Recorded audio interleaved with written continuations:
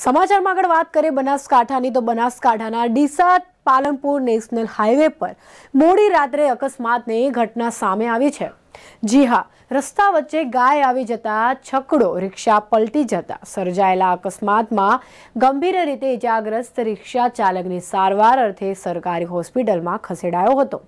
ડીસાના ભોપાનગર ખાતે રહેશો, રહેતો શૈલેષ પટણી નામનો યુવક છકડો રિક્ષા ચલાવી પરિવારનું ગુજરાન ચલાવે છે. જે યુવક ગત રાત્રે છકડો રિક્ષા લઈને ભોપાનગરથી પાલનપુર તરફ જવા નીકળ્યો હતો. તે દરમિયાન અચાનક રસ્તા વચ્ચે ગાય આવી જતા તેને બચાવવા જતા યુવકે સ્ટેરિંગ પરથી કાબુ ગુમાવતા રિક્ષા પલટી ખાઈ ગઈ હતી. છકડો રિક્ષા પલટી ખાતા જ રિક્ષા ચાલકને પગ અને માથાના ભાગે ગંભીર ઈજા પણ પહોંચી હતી. ઘટનાને પગલે આજુબાજુના લોકો દોડી આવ્યા હતા અને જાણ કરતા એકસો આઠ એમ્બ્યુલન્સ વાનની ટીમ પણ તરત જ અકસ્માત સ્થળે પહોંચી હતી. તેમજ ગંભીર રીતે લોહી લુહાણ હાલતમાં ઈજાગ્રસ્ત રિક્ષા ચાલક શૈલેષ પટણીને સારવાર માટે સરકારી હોસ્પિટલમાં પણ ખસેડાયો હતો.